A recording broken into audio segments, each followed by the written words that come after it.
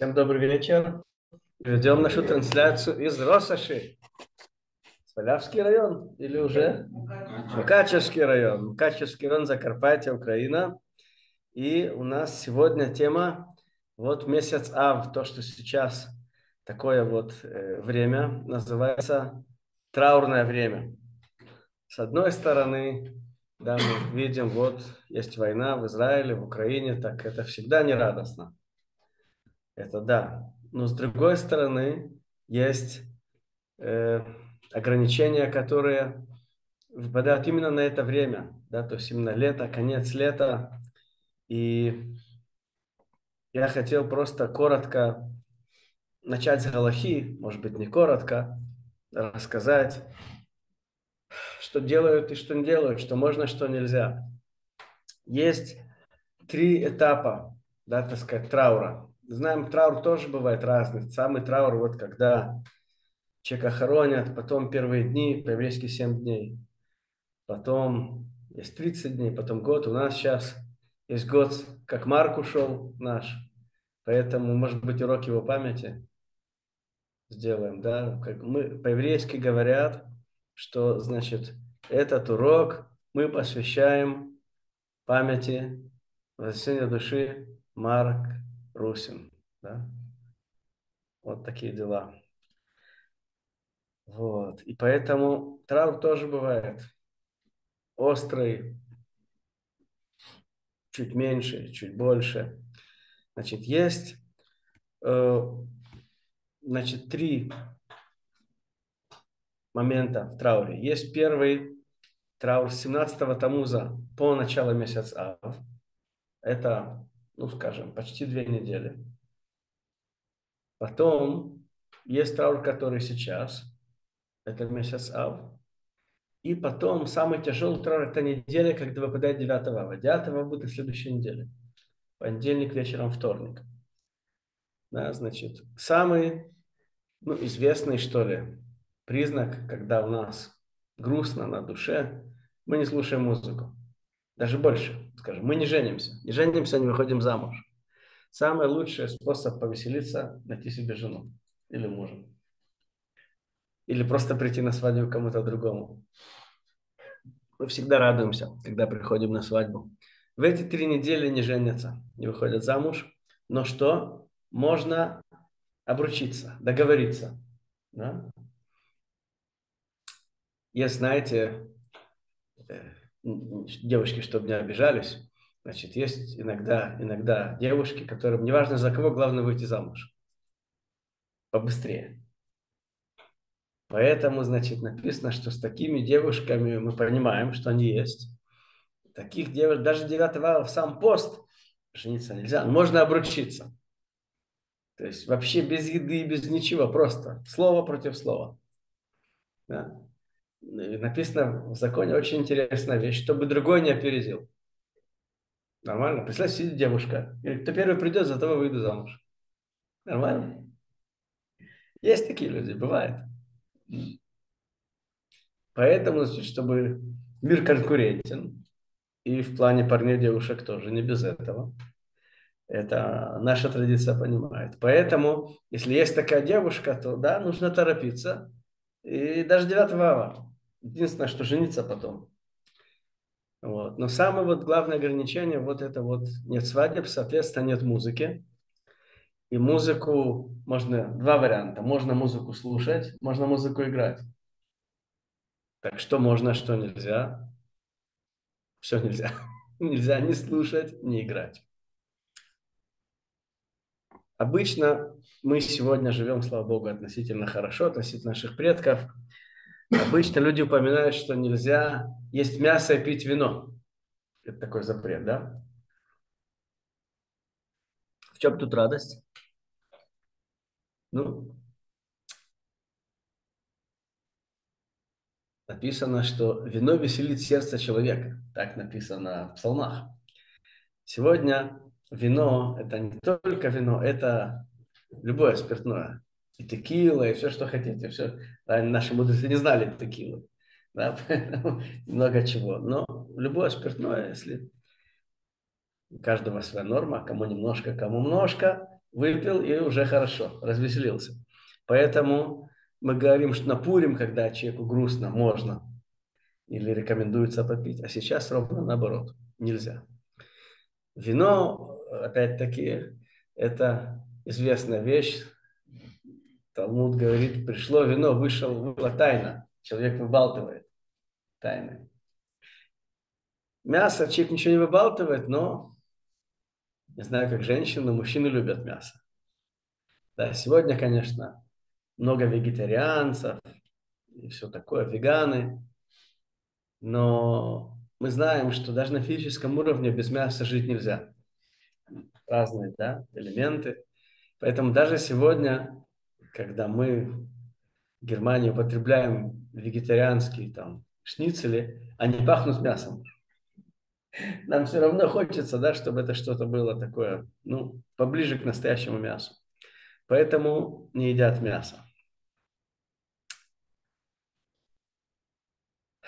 Самая проблематичная вещь, которая нам тяжело воспринимается сегодня, это запреты, связанные с мытьем и со стиркой. Раньше люди, э, прямо скажем, редко мылись. У них были другие стандарты гигиены, санитарии. Поэтому евреи относительно часто мылись. В микву ходили женщины, мужчины там перед субботой, допустим. А так люди могли не сколько того лет, а сколько там 10-20 лет. Там, пишут от имени какого-то французского короля, или Луи XIV, Луи XV. Так он сказал про себя, я, говорит, в жизни два раза всего мылся. Всего два раза в жизни мылся. Один раз, когда родился, второй раз, когда женился. И, говорит, мне не понравилось. Вот, не понравилось, да, вот так вот. То есть у нас сегодня все другие стандарты. Поэтому сегодня люди моются не потому, что нравится, не нравится, а потому что сегодня это часть нашей жизни. Мы по-другому не можем. Когда человека плохо пахнет, то это плохо пахнет. И здесь вот у нас проблема, потому что вот с месяца Ав, э, не в смысле мыть лицо, а то, что мы говорим, принимать душ или ванну, в этом есть также элемент удовольствия. Поэтому, значит, то, что делают моются постепенно. Не в смысле, что правая рука в понедельник, а левая во вторник. Не так. Но это называется моются по органам. То есть человек сначала один орган моет, потом другой, часть тела. Да. В смысле там орган, почку, печень вынимает и моет. А это занимает больше времени. То есть мы напоминаем себе, что сейчас такое время, что мы уменьшаем удовольствие.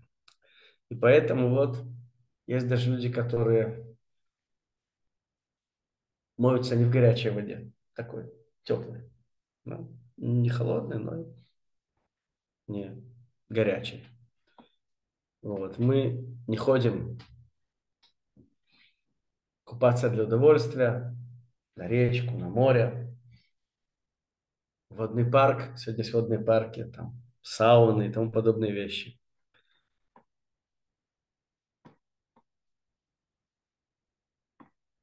Если мы говорим про все, что связано с водой, то также запрет он стирать. Но опять-таки нужно сказать, что сегодня стирать это легко. А знаете, как раньше было тяжело стирать? Значит, нужно воды, водопроводных труб дома не было нужно было взять все с собой. Это женщины делали, да, мужчины но заняты сюда работают. Да, значит, на плечо пошли на реку, там значит, стирать руками, выжимать, тащить обратно. Это было тяжело. Поэтому стиральные машины – это великая вещь. Великая вещь. Да? когда люди находятся в тяжелых условиях, там, в армии, на войне, тогда люди тоже очень часто стирают руками. И тогда вспоминают, как нелегко было раньше. В общем, сейчас, в месяц Ав, до поста включительно, не стирают. Несмотря на то, что сегодня это легко. То есть получается, что с одной стороны машины нам облегчили, но с другой стороны, получается, нужно ходить в том же самом. Нам это тяжело. Вы понимаете, люди в Средневековье ходили так всю жизнь. У них было очень мало одежды. Знаете, сколько раньше одежда стоила? Люди носили за бабушками, за дедушками донашивали. Не так, как мы. Сегодня одежда стоит почти ничего. Человек меняет ее, много меняет. У человека могла быть одна одежда. Возникал вопрос, а что же делать в шаббат? В шаббат нужно хорошо одеваться. Знаете, что закон советует? Поменять ее, это вот, вывернуть. Из человека пиджак, вывернуть наоборот. В субботу будет по-другому ходить. Вот так вот люди были. Люди жили очень бедно. Мы сейчас вспоминали в Ужгороде Раби Зушу из Аниполя. Да, это в, Харь... в Херсонской области. Он жил, хотя похоронен, похоронен на севере, на Волыне, на Подоле он похоронен. И, значит, они жили настолько бедно, что у него с женой был один тулуп и одни сапоги. Они выходили зимой по одному, вместе не гуляли, ни в магазин, ни в синагогу. По одному выходили. Так люди жили. У людей было мало одежды. Поэтому по... есть как бы в хасидизме два подхода. Один значит, что раввин должен иметь самое лучшее, самое дорогое, а другое наоборот, что ничего не иметь и жить очень бедно. Так вот, Рабизуша поделился подходом, что нужно жить очень бедно. Ему хасиды покупали шубы, он не брал. У него был брат, знаменитый Раби, Раби Элемелих из Лежанска. Ему хасиды покупали золотые кареты, он них ездил. А этот шубу не брал. Он говорил, Зуша, он про себя в третьем лице говорил, Зуша, у него все есть. У него всего достаточно. Не брал вообще ни сапоги, ни шубу, ничего. Поэтому люди мало имели. Это все было очень дорого. И очень редко меняли одежду. И поэтому постирать одежду тогда было это, о, это был, это была такая радость. Мы сегодня этого не понимаем. То есть простые радости, которые где были раньше, мы сегодня не ценим. Мы не ценим то, что имеем нам все мало, мы недовольны. Но в любом случае, мы так живем только последние 50 лет, еще 60-70 лет стиральных машин тоже не было. Пусть уже вода была дома, но по-прежнему стирали вручную, были тазики, да, там то все, заливали, переливали. Стирального порошка не было, было хозяйственное, знаменитое советское. Поэтому стирка она людям доставляла, когда человек одевал свежее, новое, там могло бы быть раз в полгода. Человек очень радовался. Стирать нельзя. Поэтому разрешение, исключение из этого правила только для детей. Если есть маленькие дети, опять-таки эти вот искусственные, как это, то, что дети одевают, какие-то, да, памперсы, это тоже вещь, которая еще 40 лет назад не было. Стирали пеленки, и все это виделось и пахло так, да? Поэтому э, для детской одежды исключение, если маленьким детям нет одежды, ее можно постирать. А все остальное нет. Поэтому взрослые должны как-то... Вы скажете, хорошо, пойдем купим одежду. В чем проблема? Мужская одежда дешевая. Так вот, покупать тоже нельзя. У меня была одна история, я знал одного раввина. Он по ошибке, он забыл, хотел какие-то туфли хорошие, нашел их и купил, как раз вот 9 дней. Поэтому купить он их купил, но носить нельзя. Поэтому отложил нам после 9 ава. И опять-таки, когда мы покупаем новую одежду, мы говорим благословение Шехьяну, благословение времени, благословение благодарности Всевышнему. И это благословение тоже нельзя сказать в эти дни. Поэтому как ни крути, не купить новую одежду, не благословить, не одеть. Какие еще вопросы у нас разрешены?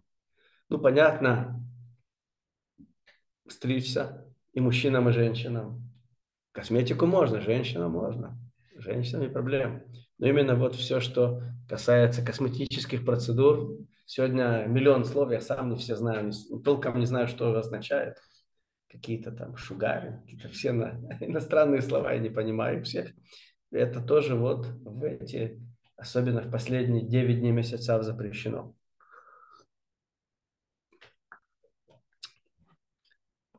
Само собой, танцевать, мы сказали, музыка запрещена. Есть интересный пункт. Телесные наказания. Ну, опять-таки, мы сегодня живем в мире, где детей нельзя бить ремешком по мягкому месту. И это нельзя круглый год. Тем не менее, царь Соломон, иудаизм говорят интересную мысль, что тот, кто жалеет рост для своего сына, то что, Евдокия, как конец предложения? Тот ненавидит собственного сына. То есть тот, кто любит собственного сына, он, значит, не жалеет его. Вот так. Еще раз, мысль сложная. Не все сегодня из нас с этим согласны. Мы живем в рамках закона. Поэтому нельзя нарушать закон любого государства, где мы живем. Сегодня дети могут прийти и сказать, я на тебя поду, подам в суд, на папу, на маму. Есть такие истории, и немало. Вот так. Вот. Но тем не менее, опять-таки, телесное наказание а, круглый год нельзя, а сейчас особенно нельзя, что человек может переборщить, не дай бог, случится беда. Я перечисляю еще значит, запрещенные вещи. Э, если мы сказали, нельзя стирать, то и гладить нельзя. Пить мясо, вино, виноградный сок, играть на музыкальных инструментах, купаться для удовольствия, как мы сказали, нельзя. Ох, менять постельное белье и скатерти. Ну, сегодня, так как мы живем хорошо, это есть выход, хозяйки скажут. Есть одноразовые скатерти, белые, бумажные. Поэтому это возможно, но имеется в виду, раньше у человека тоже была более-менее одна скатерть. У богатых было две, на будни и на шаббат белые. Поэтому сегодня мы можем быть одноразовыми скатертями. Э, промыться мы говорили, мыть отдельные органы.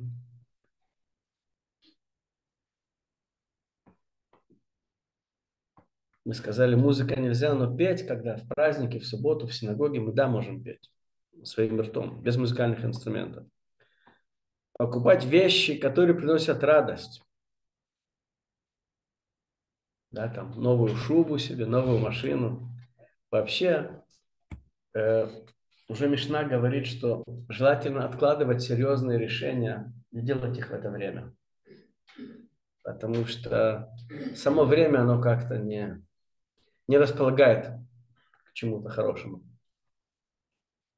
Уже говорит, что не нужно начинать строить новый дом. Все откладывается после 9 ава. Стараются не заключать сделки. Считается, что не будет успеха. Стараются, опять-таки, не покупать вот новые квартиры, дома, машины. То есть все откладывается. Скажем, если, понятно, если какая-то вещь уйдет, то можно. Но человек, допустим, подписывает контракт и говорит, я заплачу тебе. То есть, когда только заплатил, входишь в полное владение. То есть, часть сделки сделал, но не завершил, не вступил во владение. Так делают. То есть, растягивают весь процесс приобретения чего-то. Вы скажете, хорошо, покупать одежду, вызывающую радость, нельзя. Новую шубу себе, там, новое кольцо с бриллиантом. Хорошо. А если мне что-то не вызывает радость, ну, привык я, да? Я каждый день там себе покупаю, не знаю, новое платье, новый костюм. Даже это нельзя.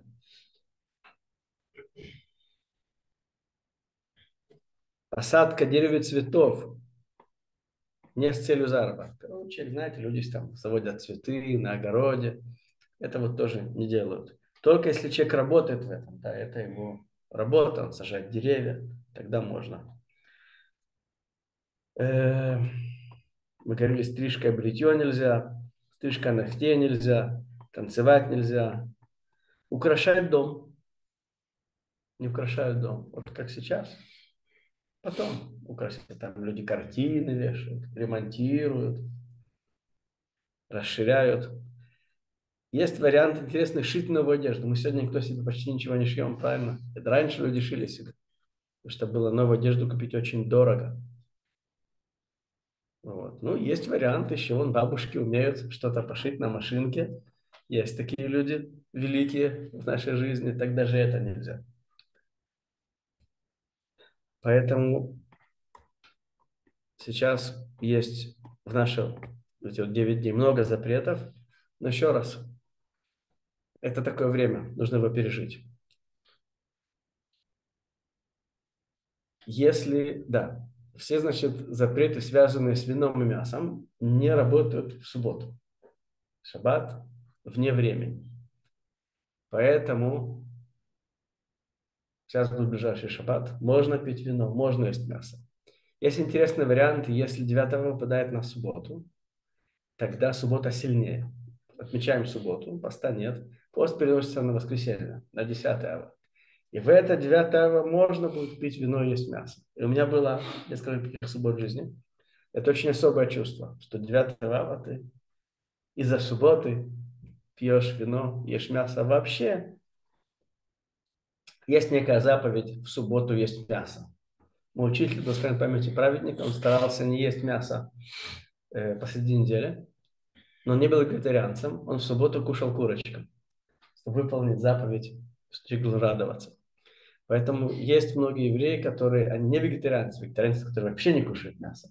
То есть посреди будин вегетарианец кушает рыбу, ну, вегетарианцы не кушают рыбу, наши люди кушают. В субботу кушают мясо. Это вот основные запреты, которые есть сейчас в наше время, в эти вот 9 дней месяца. Опять-таки, сегодня у нас 7 августа. И 9 ава будет вот 12 августа вечером понедельник и весь вторник 13 августа. Интересно, что курить можно даже в пост. Ну, опять-таки, есть раввины, которые говорят, курить вообще нельзя всю жизнь. И в понедельник, и вторник, и круглый год. Что творили для здоровья. Так, например, Рамбам считал, Маймонид. Но есть раввины, которые разрешают. И тогда, даже 9 ава, так как это не суббота, можно курить. Поэтому я бывал 9 ава в Иерусалиме, люди все, значит, молятся травной молитвы и курят. Так сказать, это, это не еда. Мусульман, кстати, интересно, вот, у них, когда пост, нельзя и курить. Они гордятся, значит, что у них все строго. Говорят, даже, говорит, палец в рот нельзя вставить. Поэтому каждый по-своему подходит к посту. У нас мало постов, мы веселые люди. Евреи, несмотря на очень тяжелую историю, свою и личную, и национальную, тем не менее мы не теряем оптимизма. И тем не менее иногда есть посты. Всего шесть постов в году, 9 ава Второй из них в этом рейтинге после Йом-Кипура. Он 24 часа. Опять-таки, кто имеет проблемы со здоровьем, беременные женщины, дети, нужно спрашивать раввинов, каждая ситуация по отдельности. Мы всегда надеемся, что эти дни траура сменятся днями веселья. И так написано в Захаре, что эти вот посты, они будут праздниками со временем. Один, значит, Равин я видел, написал, сейчас идет война в Израиле 7 октября, уже более 300 дней. Так, он, значит, написал, что у нас прошлое Симхатара, когда нужно радоваться, было как 9 ава, как день траура. За один день убили более 1200 человек. Поэтому, говорит, сегодня, говорит, должно быть наоборот, что наша девятая вава должно быть как Симхатора, что должно, должна прийти радость. Так должно быть. Вот, я могу вам сказать, вот, на, так сказать, завершить чем-то оптимистичным, я вам зачитаю одну интересную мысль, которую сегодня вот в Израиле опубликовали. Значит, был один офицер, который погиб в Ливане. Руй Кляйн его звали, благословенной памяти праведника. Он, значит, был в таком узком месте в Южном Ливане, и террористы кинули гранату. И чтобы спасти своих солдат, он лег на гранату. Он погиб, но спас своих солдат. И его звали Рэй Кляйн из Или. Он очень известный человек в Израиле. Его жена, его вдова,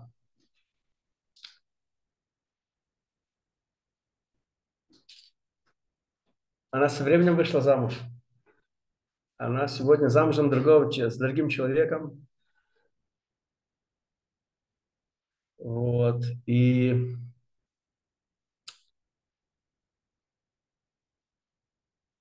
ее спросили, что я буду делать, когда будет воскрешение из мертвых. Имеется в виду, вот, воскреснет ее муж, она замуж за другим человеком.